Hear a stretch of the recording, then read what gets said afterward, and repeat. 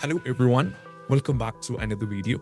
And in this video, I'm gonna talk about how to fix KB update error or update KB505094 or KB50500577 is not installing or updating on your Windows 11 and how we can fix this up. So let me directly get into this.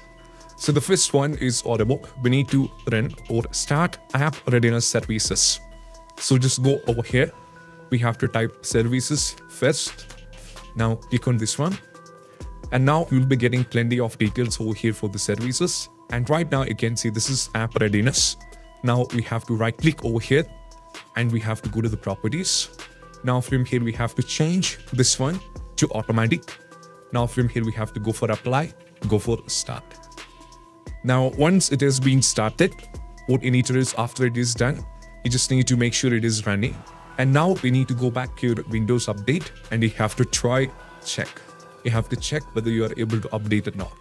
So even after trying with the first step, if it's still having with the cumulative updates and all those things, or KB update is not working like this, most probably have to follow the next instruction. Next one is all about nothing but what we need to do we just need to move a file. So just go over here in the file explorer. Now from here, go to this PC, go to local disk C. Now we can see there is a folder named dollar win reagent. So if you don't find this, most probably this should be like by default like this, we like this. So if I uncheck this, you'll not be able to see. So most probably when you try to go back to the file explorer and you navigate to this PC and try to open local disk C, you'll not be able to find this. So if that is the case, just go over here in the view option. Now from here, go over here in the option, go for show and click on hidden item. So now you'll be able to find this. So what we need to do is just copy this particular file and you have to paste it over here in the desktop. Just paste it over here. And once it is successfully pasted, you're fine with it. Once it is pasted, you can just delete it. You can delete the respective folder. So after it is successfully done with the pasting, just go back to the file explorer and now you can delete the respective folder after it is successfully copied. So right now the copy is in process. So let me wait. This stretch completely done.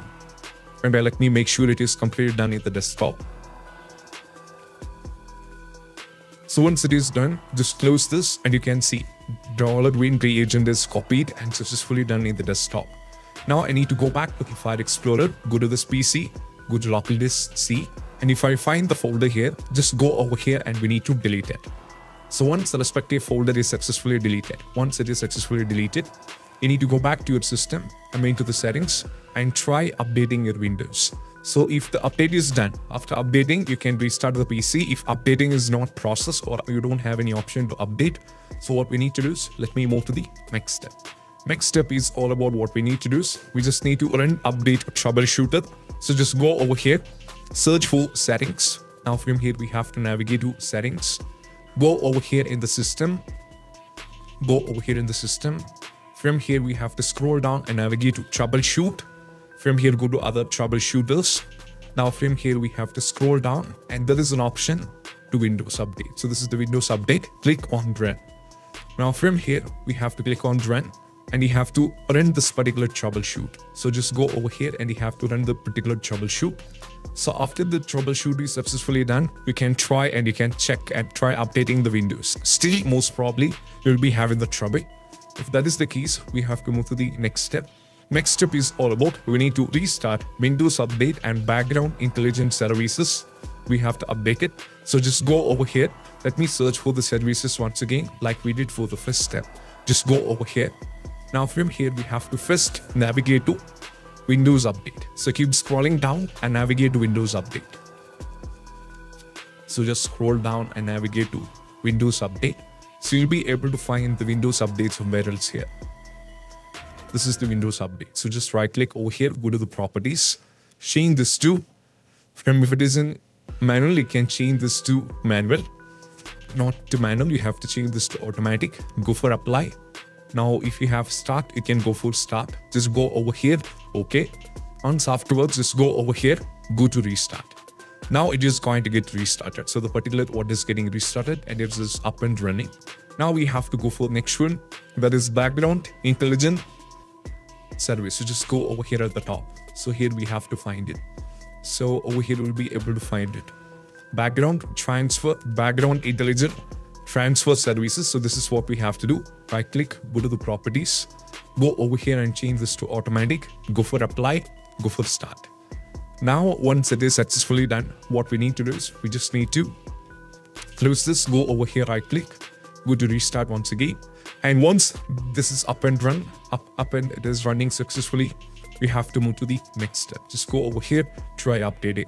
Still, if you're having the trouble, we need to use the Windows Installation Assistant so I'll be providing a link in the description to that will take you to the Windows Installation Assistant. So just copy this and paste it over here in your Google Chrome. And we have to search for this. So go over here. So if you need the Windows 11 Installation Assistant, just go over here and you can download this. And once it's successfully downloaded, we can see it will be getting downloaded over here. So it is around, uh, once it's successfully downloaded, you have to open this and you have to run the .exe and you might be having an option to update it from within this itself. So I'll be showing you. Let us wait. This switch it completely done. Once it is done, just open this and we have to run this.exe. Let me run this.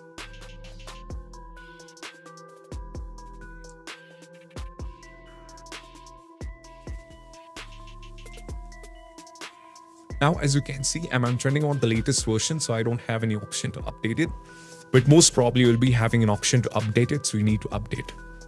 Next one, we have to close this. Next step is we need we need to use Microsoft Update Catalog. So just go to this particular link.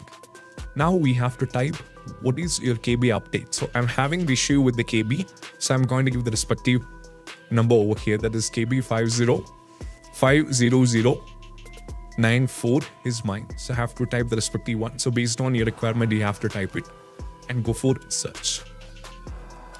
Now, when you go for the search, you'll be getting this option details over here.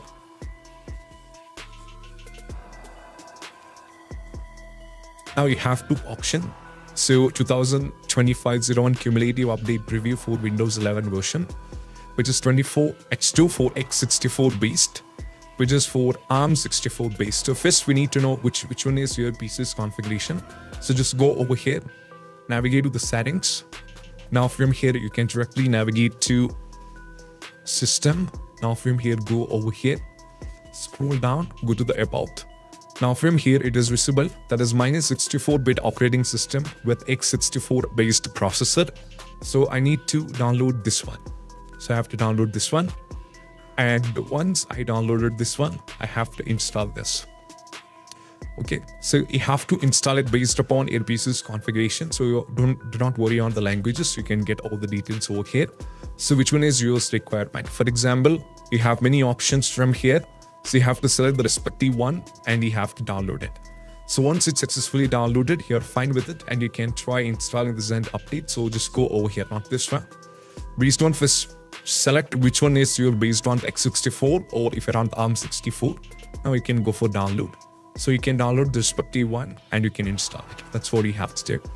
Even after trying with the ST, if you're having the trouble, we need to do one very important step. That is, we need to reset all the update Windows component.